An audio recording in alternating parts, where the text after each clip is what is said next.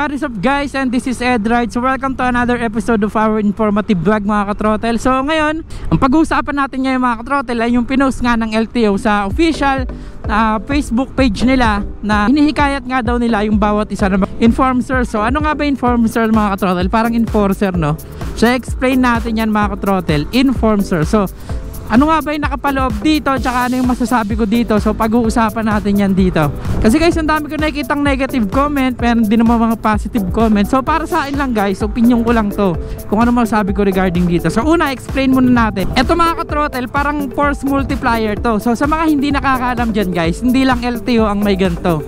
Parang ngayon lang siguro nagsimula yung LTO pero kahit naman anong enforcer eh merong ganito. So like for example guys yung mga police yung mga pulis meron mga force multiplier niyan. Uh, for example, isang grupo ng uh, mga riders na mga volunteer, yung mga kabalikat, mga katrotel, which is yung meron kami dito ngayon. So yun yung tinatawag na force multiplier. Kasi guys, hindi naman sila 100% na visible dyan sa daan no, or sa kung saan saan man yung mga pulis natin. So like sa LTO mga katrotel, dahil nga hindi sila laging visible, eh nanghihikayat sila ng magkaroon ng ano uh, force multiplier ito nga informer ano tong informer na to? Yung informer na to mga katrotel eh pwede kang mag-report ng mga detalye pangyayari o violation na nakikita mo sa kalsada or nai-encounter mo. Like for example dito yung smoke belching. So ang mga kailangan dito mga katrotel eh i-report mo sa page ng LTO pwede rin naman kayong mag-email.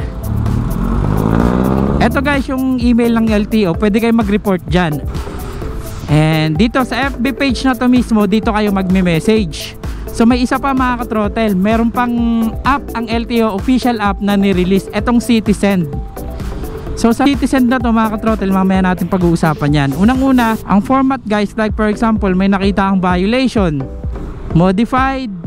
Or kunyari Reckless driving. So ang kailangan dito mga katrotel, meron kang details ng pangyayari. Ito yung format guys ng pagre-report.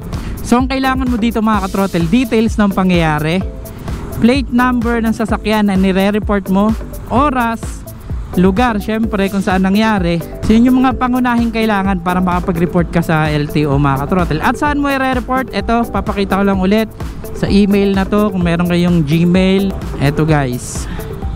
Kung gusto niyo naman sa Facebook lang, So eto Hindi ko lang sure kung mabilis sila mag-reply no Pero sa Facebook naman mga katrotel Minsan nagre-reply naman yung LTO So hindi ko lang talaga alam kung ma-actionan agad. At sa sinasabi ko namang citizen na uh, app mga katrotel Eto. So hindi ko alam kung meron na sa Android no? Ko-confirm ko mamaya pag uwi ko sa bahay. Kasi guys yung iPhone ko hindi ko na nagamit Nakatambak lang yun. So napag ang iPhone ko iPhone 6 6S ba o 6? iPhone 6S yata yun. Hindi ko lang sure ah. Pero mga ka-throttle for sure, exclusive to sa Android which is nag-register na ako dito. Register mo lang naman email mo and then password.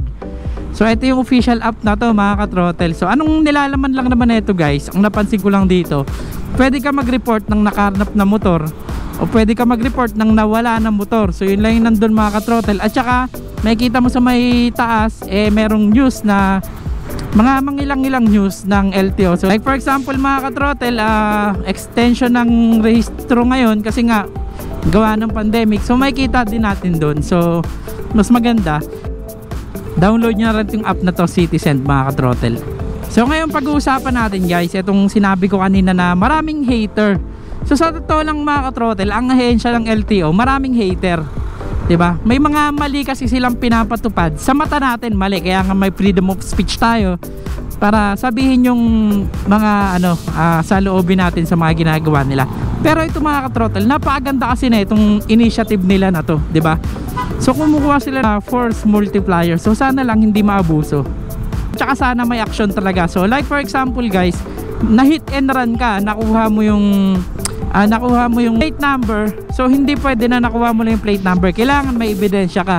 Like screenshot. Pwede rin naman sa social media mga katrotel yung mga nakikita natin na mali sa social media. Like for example kamote.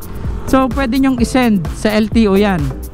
Uh, by using screenshot. At saka isa pa dito mga katrotel kung may nangyaring aksidente sabi nila pwedeng i-report sa LTO which totoong nangyayari sa kalye mga katrotel kung mayroong aksidente ang unang unang dapat na tinatawag enforcer which is yung traffic enforcer kung meron mang pulis sa pulis natin itatawag, 'di ba? Kung may mga krimen.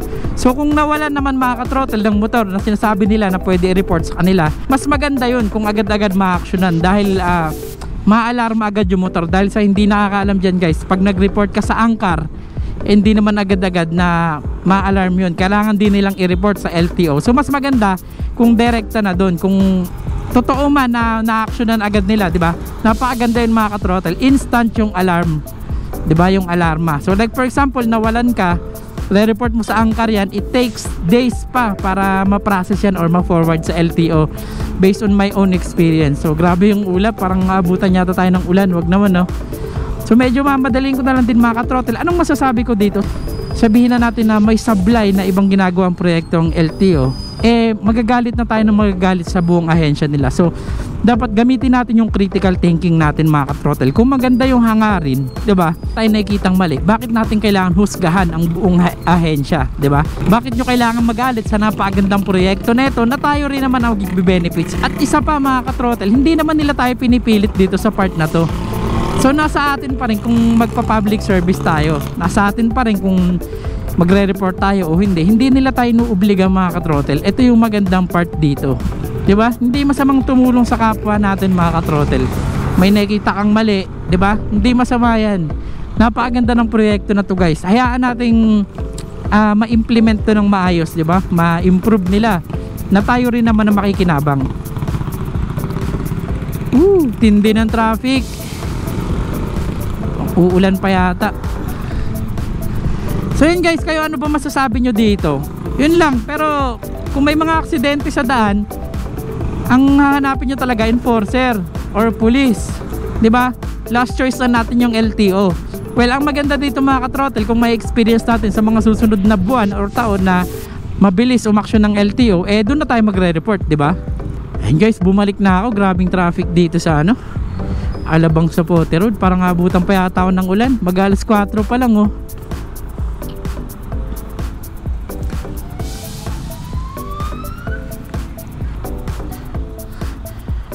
So actually mga katrotel, yun lang yung pinupoint out talaga dito, 'di ba? Wag naman puro galit. Kung alam nating maganda naman, eh suportahan naman natin, 'di ba?